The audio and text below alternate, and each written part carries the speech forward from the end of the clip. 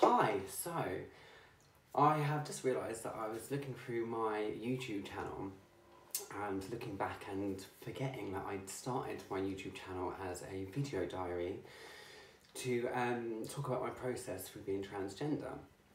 Um, and if you look back through, you can see that I was still very much learning my face, and drag helped me massively to do that. Um, learning makeup and where to apply things quite heavily, and then just subtly doing them. Um, so it's been like two years um, this year since I uh, accepted and came out, and um, and it has been an amazing journey. I um, have to say I. I yeah, I'm in a, in a in a good place, but at the moment things are slowed down due to the pandemic. Um, but I thought it'd be nice to just show you who I am now, because um, as you can see from some of the videos before, it's got my alter egos and performing, um, and I guess from what I was from the first video on my channel and how I look now is very very different. So I thought I would just show a little bit of who who I actually am um, in the flesh again. Um, so I've changed my business name to Mr. Hair um, after the last lockdown um, I was able to um, yeah change my name by deed poll. That I did all that this year. I learned that I didn't need to buy as many certificates as I did buy. I think I bought eight. I only really needed two. Um, so that's a handy hint for anyone that is going through changing their names. Um, you know, don't don't buy loads. um, but I have since found out um, before this lockdown, about a week or two before, I wanted to ring up and go private because I knew that I was already held back by my doctor. I had um, I went in the November and then they didn't refer me until the February.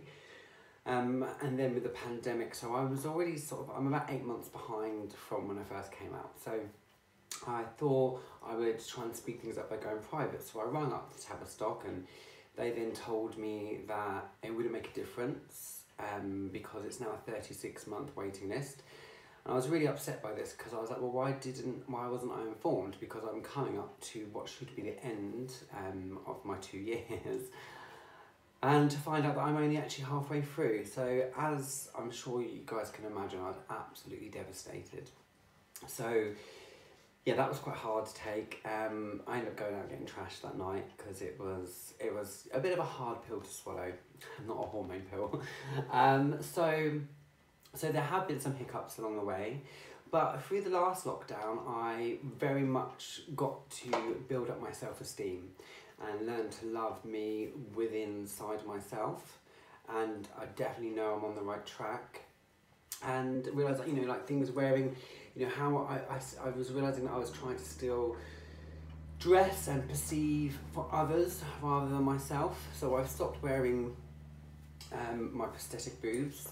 I'm not really that fussed on my boobs, and, and you know, if you had asked me or I had the option when I first came out, I would have gone like double D's, um, you know, and I would have gone a bit crazy. So I do appreciate the two year waiting list, and and getting to know myself, I'm still very upset that there's such a lack of um, community and help or help offered to to um, people who are going through the transition or waiting for their first appointment. There's no, um, you're kind of left on your own to find, tread the water and find your own support. That led me to um, setting up a support network in Chichester um, which has been really good. And we're doing a lot of Zoom meetings through the lockdown and uh, these times where we can't socialise as much as we would all like to. Um, but it's been going well, and we had set up, we were due to have our first Chichester Pride this year on August the 15th, but again, uh, the pandemic put an end to that. Um, so, but I just, I've learned a lot. I've learned a lot, a lot. I found that um, uh, so like sexually, um, there is such a huge taboo still with being trans. Um, yeah, if anything, you know, I've had a bit more action for, since I came out. Um, and at the beginning, it was very exciting, and, and I was able to have sex sober. Like, I've never, um, as a man, I found it very difficult to have sex. I didn't know where my place was while having sex, and I was an active guy. Um, so that was um, So that's been quite interesting. And then I started realizing it was a bit like a drug, and I was starting to feel really low in myself um, each time after having hookups. So I slowed that down massively, um, and it made me realize like a lot of guys still would be like, you know, I'm not gay, and I'm like, okay, that's fine. Like neither am I, but because I still have a penis, I guess that's still seen as uh, I'm they're still seeing me as a man or a chick with a dick. But what it has also made me realise is that there is a label that hasn't been introduced or or acknowledged yet that there are people out there that do like chicks with dicks. um, and not that you should have to label yourself, but with there being so many labels, it must be very, very hard for guys who who have that orientation and aren't able to express themselves. And there is still a fear. There is still a huge fear. I mean, in the bedroom, absolutely fine, guys are great in those four walls, but would they be seen holding hands um, out in public? No. So there is still a huge taboo and a huge fetish um, within the trans community. Um, I don't know if it's the same for female to male, um, but especially within male to female. Um, so yeah, so that's been interesting. So I've learned quite a lot through that and um, trying to it's hard because you know I want to love and be loved, so you can't put a stop to trying to meet up guys and hope that one of them or that somebody will see things differently. But unfortunately, that hasn't happened as of yet. And I live in a very small village, so it's not um, everyone's covered up. So it's not like my pool of people is is is vast. Um, so so yeah, but everything after when I finished doing my last videos life started just getting very good and and work was going really really well. Um, you know, I had a lot to contend with. Um, I work just by myself and I have a helper now, which I find much easier. Um, not that they were any problem or anything like that, but actually just I'm not very good at being a boss or managing. I'm just good at I struggle to manage myself. So and so everything's been going really really well actually. Um, but now from this second lockdown, I was I'm not going to be able to afford to go private until next year. Hopefully until I've raised my funds again. So that's put another spanner in the works. But you know, I have to just keep thinking. I'm happy. People are great with me. Um, so yeah, I haven't got a lot to worry about.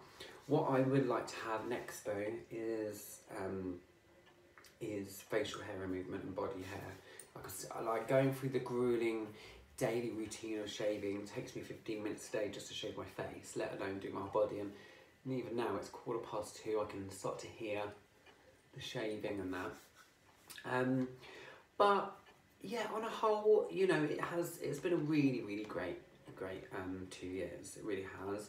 And there just are always going to be hiccups. Um, and that's where it would have been really lovely to have had um, support. So Facebook, there were lots of groups on there but um, it's not quite the same as maybe having a meetup or having you know being able to talk openly.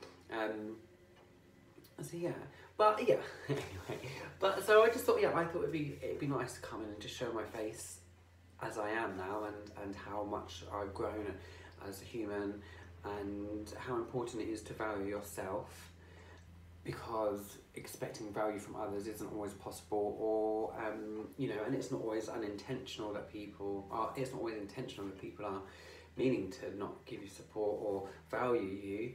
Um, but no one's a mind reader and nobody knows how to treat you other than you know how to treat yourself. So it's incredibly important to love yourself.